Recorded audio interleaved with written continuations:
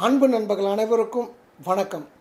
ஆன்மீக உலா நிகழ்ச்சியின் வாயிலாக உங்களை சந்திப்பதில் பெரும் மகிழ்ச்சி அடைகின்றேன். நான் உங்கள் முனைவர் ஆண்டாள் பி சொக்கலிங்கம் நிறைய பேருக்கு இந்த வாஸ்து அப்படின்னா இது குறித்து இருவேறு கருத்துக்கள் இருக்குது. என்ன மாதிரி கருத்துக்கள்?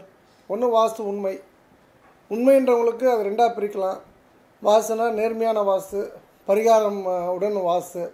இன்னொரு செட் ஆஃப் பீப்புளுக்கு வாசுவே இல்லை. வாசுனாலே பொய் அப்படின்ற ஒரு விஷயத்தை தான் நம்ம மக்கள் முன்னாடி ஒரு விஷயமாக வைத்து எல்லோரும் இந்த லைனில் தான் திங்க் பண்ணிட்டு இருக்காங்க. அதாவது இல்லை அப்படின்னு சொல்கிறவங்களுக்கு என்னுடைய தரப்பு வாதம் என்னென்னா இன்றைக்கி வந்து நமக்கு வந்து மனிதர்களுக்கு விதவிதமான நோய்கள் வருகின்றன. அந்த நோய்கள் வந்து பழைய காலத்துலேயும் வந்திருக்கும். ஆனால் அந்த நோய்களுக்கு எல்லாத்துக்குமே ஒரே காமனான பேரை சொல்லி இந்த இறந்து போயிட்டாருன்னு நம்ம சொல்லியிருப்போம். இன்றைக்கி வந்து இந்த பிராலத்தால் இறந்தார் இந்த பிராலத்தால் இவருக்கு இந்த பாதிப்பு வந்தது அப்படின்ற அளவுக்கு நம்ம வந்து கல்வி வளர்ச்சி பெற்றிருக்கு. நம்ம வந்து ரொம்ப இன்டி டீட்டெயில் பண்ணியிருக்கோம் ஒவ்வொரு சப்ஜெக்ட்லேயும் அதே போல் வாஸ்துவும் நீங்கள் எடுத்துக்கிட்டிங்கன்னா இந்த இடத்துல நாம் வந்து நம்மளை அறியாமலே அது அறிந்தோ அறியாமலோ தெரிந்தோ தெரியாமலோ புரிந்தோ புரியாமலோ ஒரு ஒரு செட் ஆஃப் ரூல்ஸ் படி நம்ம மக்கள் வாழ்ந்திருக்காங்க. என்ன செட் ஆஃப் ரூல்ஸ் அப்படின்னு நீங்கள் கேட்டிங்கன்னா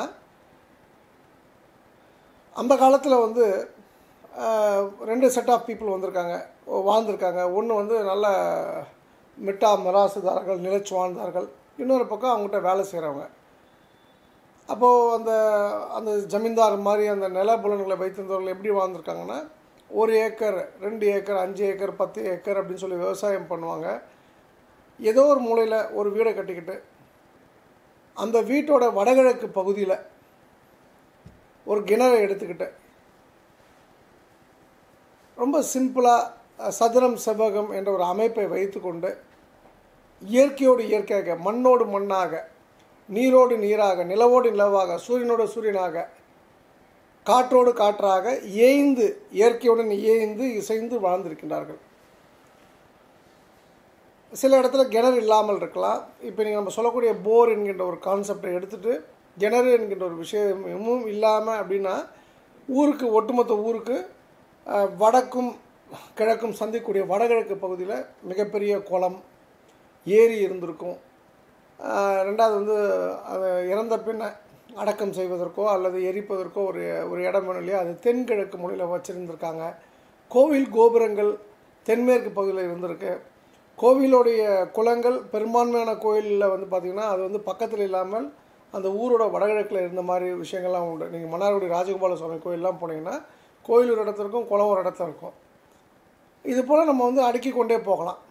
அப்போது அன்னைக்கு வந்து ஒரு செட் ஆஃப் ரூல்ஸோடு நம்ம வாழ்ந்துட்டு அது ரூல்ஸ்னு பேர் கொடுக்காம இப்போ இன்றைக்கி வந்து நாம் ஒரு விஷயத்தை பற்றி பேசுகிறோன்னும் பொழுது அன்னைக்கு எப்படி வாழ்ந்தார்களோ அன்றைக்கி அந்த வாழ்க்கை முறை நம்ம ஆராய்ந்து பார்க்கும் பொழுது ஆரோக்கியமாக வாழ்ந்தாங்க நோய் நொடி இல்லாமல் நான் என்றைக்கும் சொல்ல மாட்டேன்.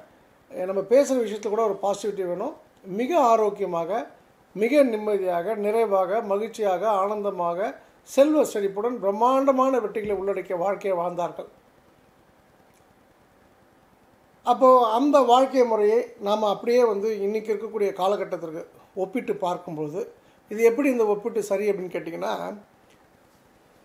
இன்றைக்கி கிரிக்கெட் அப்படின்னு சொன்னால் ப்ராட்பேண்ட் சொல்லுவோம். இந்தியாவை பொறுத்த வரைக்கும் சுனில் கவாஸ்கர் திலீப் பல்வான் வெங்சேக்கர் சச்சின் டெண்டுல்கர் மகேந்திர சிங் தோனின்னு அப்படி நம்ம அடுக்கி கொண்டே போகலாம். குழந்தைகள் தொடர்ந்து சச்சினுடைய பேட்டிங்கோ சச்சினுடைய ஒரு ஸ்பின் போலிங்கையோ நம்ம மகேந்திர சிங் தோனியோடைய விக்கெட் கீப்பிங்கும் பார்த்து பார்த்து விராட் கோலியோடைய ஃப்ளிக் ஷாட்ஸு ஹூக் ஷாட்ஸ்லாம் பார்த்து பார்த்து அவங்களும் விளையாடும் போது அதே போல் தான் விளையாடாங்க விளையாட விளையாடுவாங்கன்ற விஷயத்தை நீங்கள் கிரவுண்டுக்கெலாம் போனீங்கன்னா பார்க்கலாம். அப்போ நல்ல விஷயத்தை எங்கே இருந்தாலும் காப்பி பண்ணலான்றது தான் இதோட ஃபண்டமெண்டல் ஃபண்டமெண்டலாக நான் சொல்லக்கூடிய விஷயம். அப்போ அன்னைக்கு வாழ்ந்தவர்கள் எப்படி கம்ஃபர்டபுளாக வாழ்ந்தார்கள்? அவங்க ஆரோக்கியம் இன்றைக்கி வந்து நிறைய ஹாஸ்பிட்டல்ஸ் இருக்குது நிறைய மெடிக்கல் ஷாப் முக்குக்கு மூணு மெடிக்கல் ஷாப் இருக்குது அப்படின்ற இடத்துல மெடிக்கல் ஷாப்பே இல்லாமல் ஒரே ஒரு அரசாங்க ஆஸ்பத்திரி ஒரே ஒரு நாட்டு வைத்தியர் அப்படின்றதோட தானே ஒரு ஊர் இயங்கியது.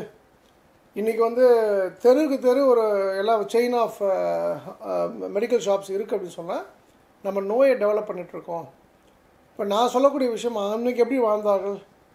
அவங்க வந்து நோய் வந்தப்புறம் அதை தீர்ப்பதற்கு வந்து மருந்து சாப்பிடல. நோயே வராமல் எப்படி வாழ்கிறன்ற ஒரு முறையை தெரிந்து அவங்க மருந்து சாப்பிட்றதுக்கு அவசியம் இல்லாமல் வாழ்க்கையை வாழ்ந்தார்கள்ன்றதை நம்ம இங்கே கவனிக்கணும். ஸோ அந்த அதுதான் அதோடய ஃபண்டமெண்டல் அப்போது அன்னைக்கு வாழ்ந்த வாழ்க்கை ஒரு ஏக்கரோ பத்து ஏக்கரோ ஐம்பது ஏக்கரோ நூறு ஏக்கரோ அப்படின்ற ஒரு விஷயத்தை நம்ம பார்க்கும்போது இன்றைக்கி வாழக்கூடிய வாழ்க்கையை நம்ம ஒப்பிட்டு பார்த்தோம்னா இன்றைக்கி ஒரு ஏக்கர் வந்து ஒருத்தன் வந்து மெட்ராஸ் சிட்டியில் இடம் வச்சுருக்காருன்னா பெரிய மிகப்பெரிய கோடீஸ்வரனாக தான் இருக்க முடியும். ஒரு மிடில் கிளாஸ் மேனோ ஒரு அப்பர் மிடில் கிளாஸ் மேனோ ஒரு லோயர் மிடில் கிளாஸ் மேனோ அது பாசிபிலிட்டின்ற ஒரு விஷயத்துக்கு அந்த வரம்புக்குள்ளே நம்ம வர முடியாது.